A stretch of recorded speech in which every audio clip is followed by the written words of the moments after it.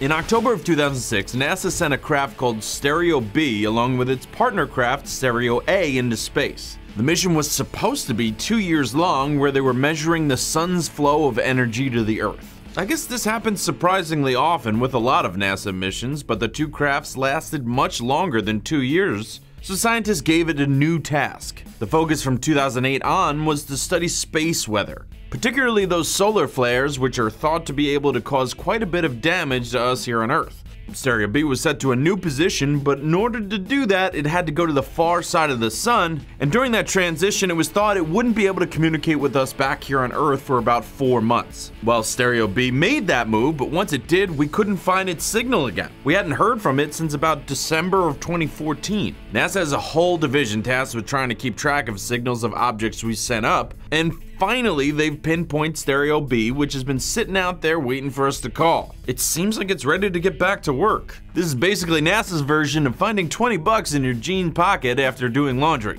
I'm Patrick Jones for Buzz 60. Now you know, pass it on.